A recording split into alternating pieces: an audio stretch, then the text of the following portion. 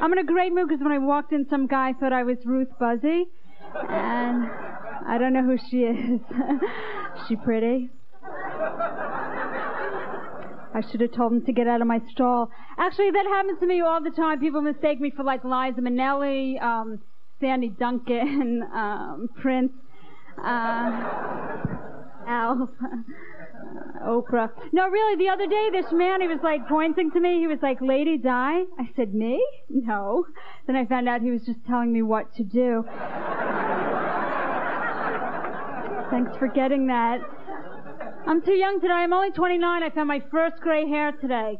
Oh, I'm so bummed out because it was on my chest. it's just a joke. I'm 30. But, um,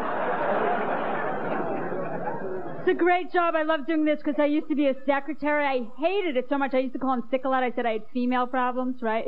Little did my boss know I was talking about her.